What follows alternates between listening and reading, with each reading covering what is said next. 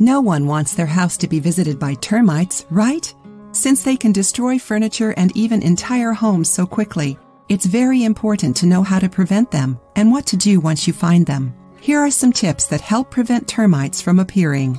Kitchen salt. Table salt is actually sodium chloride, which can be very good at cleaning and disinfecting. Furthermore, it can prevent termites from appearing.